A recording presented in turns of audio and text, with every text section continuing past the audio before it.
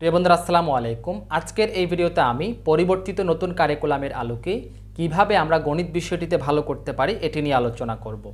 শুরুতে আমি যদি একটু গণিত বিষয়ে বলি, এই গণিত কিন্তু আজকের গণিত না, এটা কিন্তু অনেক আগে থেকেই কিন্তু এই গণিতের সকল বিষয় পড়ানো হচ্ছে। অর্থাৎ গণিতে যে যোগ, বিয়োগ, গুণ, ভাগ, সূচকের অঙ্ক, লগের অঙ্ক বা বীজগণিতের অঙ্ক বা মনে করো যে গণিতের বিভিন্ন সূত্র, জ্যামিতির ধারণা সংখ্যার ধারণা, এগুলো কিন্তু অনেক আগে থেকেই কিন্তু আবিষ্কৃত হয়েছে এবং অনেক আগে থেকেই কিন্তু এগুলো পড়ানো হচ্ছে।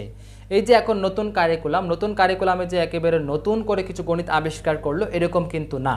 গণিতের আগের যে বিষয় ছিল, এখনও কিন্তু ঠিক সেম তাই বলতে পারে আমরা যে গণিতের পড়ানোর পদ্ধতিটা একটু পরিবর্তন হয়েছে, তবে আগের যে গণিত, এখনও কিন্তু ঠিক একই গণিত। আগে যেরকম যোগ ছিল, এখনও ঠিক একইভাবে আমরা যোগ করছি। আগে যে লসাগু ছিল, এখনও আমরা ঠিক একই লসাগুই করছি।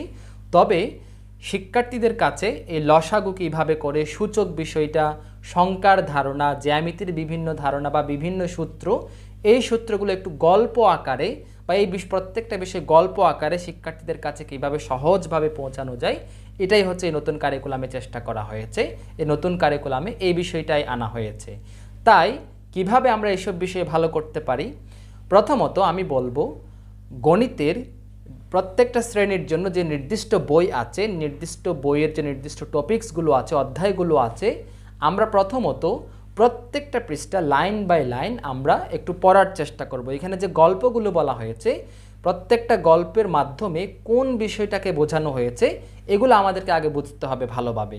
আমরা যদি ওই প্রত্যেকটা বিষয় যদি একটু ভালোভাবে বুঝে বুঝে পড়ার চেষ্টা করি, আমরা যদি একটু বোঝার চেষ্টা করি, তাহলে আমরা সঠিকভাবে কিন্তু এই বিষয়টা বুঝতে পারব। ধরো, আমরা উদাহরণস্বরূপ বলতে পারি, যদি লসাগুর বিষয়টা যদি আমি বলি, যেমন লসাগু বিষয়টা কি? লসাগু কীভাবে করে? লসাগু দিয়ে আমরা আমাদের বাস্তব জীবনে কি কি সমস্যার সমাধান করতে পারি? এই লসাগুটা আমাদের বাস্তব জীবনে কোথায় কোথায় কাজে লাগে? এই প্রত্যেকটা বিষয় যদি আমরা একটু বুঝে করার চেষ্টা করি তাহলে কিন্তু আমরা এই লসাগুটার মধ্যে, লসাগুর প্রত্যেকটা বিষয়, প্রত্যেকটা সমস্যা প্রত্যেকটা প্রশ্ন আমরা সহজেই সমাধান করতে পারব। এটাই কিন্তু এই বর্তমান যে নতুন কারিকুলামে করা হয়েছে। তাহলে আমরা কীভাবে গণিত বিষয়টাতে ভালো করতে পারি? প্রথমত আমাদেরকে আমাদের যেই যেই শ্রেণির, প্রত্যেকটা শ্রেণির যে গণিত বইটা দেওয়া হয়েছে, ওই গণিতের প্রত্যেকটা টপিকস আমরা খুব ভালোভাবে বোঝার চেষ্টা করব। প্রত্যেকটা সমস্যা কীভাবে সমাধান করে, প্রত্যেকটার যে সুনির্দিষ্ট যে বিষয়, ওইটা ওইটাতে কি বলা হয়েছে, এটা আমরা একটু বোঝার চেষ্টা করব এবং ওই সংশ্লিষ্ট গল্পের বা সংশ্লিষ্ট সমস্যার রিলেটেড আমরা অন্যান্য আরও আমরা নিজ থেকে কি কি আমরা গল্প বানাতে পারি নিজ থেকে কি কি সমস্যা বানাতে পারি, এটা একটু আমরা চেষ্টা, নিজেরা একটু চেষ্টা করব। এভাবেই কিন্তু আমরা এই গণিতটাতে আরেকটু আমরা ধাপে ধাপে আমরা উন্নতি করতে পারি। আরেকটা বিষয় আমি বলব, সেটা হচ্ছে আগের যে কারিকুলাম সেই কারিকুলামের গণিত বইগুলো সংগ্রহ করা।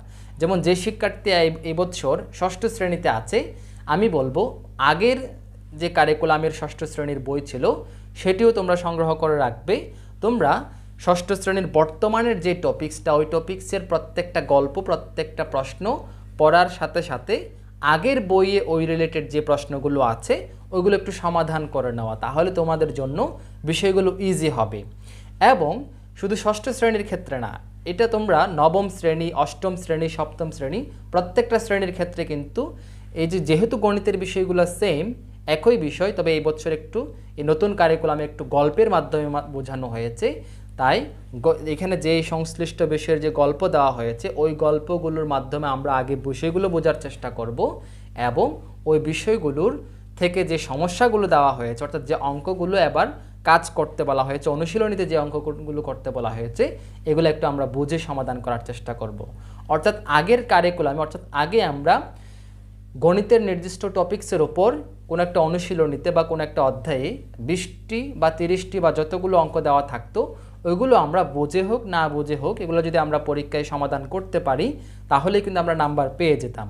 তবে এই বর্তমান কারিকুলামে কিন্তু কোনো শিক্ষার্থী বোঝে করছে কিনা, নাকি না বোঝে করছে, এই বিষয়টা কিন্তু স্পষ্ট বোঝা যাবে, যেহেতু এগুলো কিন্তু শিখন শেখানো পদ্ধতি। যে বিষয়টা ক্লাসে পড়ানো হবে, এই মনে করো যে একটা বিষয় আজকে ধরা হলো, এই টপিক্সের উপর দুই দিন মনে করো যে দুইটা ক্লাস নেওয়া হলো। এই দুইটা ক্লাস নেওয়ার পর কোন শিক্ষার্থী কতটুকু বুঝতে পারল এগুলো কিন্তু ক্লাসে কিন্তু আদায় করা হবে। তাই কোনো শিক্ষার্থী যদি বুঝতে না পারে ভালো মতো, কোনো শিক্ষার্থী কোনো টপিক্স যদি ভালোভাবে না বুঝে, তাহলে কিন্তু ওই টপিক্সের উপর সে ভালো নাম্বার পাবে না। মানে তার মূল্যায়নে কিন্তু সে ভালো মার্কস পাবে না। এই জন্য প্রত্যেকটা বিষয় ভালোভাবে বুঝতে হবে, তবেই কিন্তু এই বর্তমান কারিকুলামের গণিত বিষয়টিতে ভালো করা যাবে। তাই আমি বলব, তোমরা বইয়ের গণিত বইয়ের প্রত্যেকটা পৃষ্ঠা, প্রত্যেকটা লাইন হ্যাঁ ভালোভাবে প্রত্যেকটা বিষয় বোঝার চেষ্টা করবে। তারপর আগের কারিকুলামের সংশ্লিষ্ট শ্রেণির যে বই আছে, যেমন কেউ যদি অষ্টম শ্রেণীতে পড়ে থাকো, তাহলে এই বছরের অষ্টম শ্রেণির বইটা পড়বে। সেই সাথে আগের শ্রেণির, আগের কারিকুলামের যে, আগের যে গণিত বইটা আছে, সেটাও সংরক্ষণ করে, সংগ্রহ করে, সেই গণিতগুলো সমাধান পাশাপাশি রেখে তোমরা সমাধান করার চেষ্টা করবে, বোঝার চেষ্টা করবে। তাহলে তোমরা গণিতে আশা করি ভালো করতে পারবে। আর গণিত সম্পূর্ণ হচ্ছে বোঝার বিষয়। বুঝে করলে কিন্তু গণিতগুলো একদম ইজি তাই যেহেতু গণিতের বিষয়গুলো ফিক্সড গণিত আগে যে গণিত ছিল এখনও ঠিক একই গণিত। আগে লসাগু বলতে আমরা যেটা বুঝতাম, এখনও কিন্তু ঠিক একই বিষয় কিন্তু লসাগু বলতে আমরা বুঝি। জ্যামিতির আগের যে সূত্রগুলো ছিল, এখনও কিন্তু ঠিক একই সূত্রগুলাই কিন্তু তোমাদেরকে একটু পড়ানো হচ্ছে।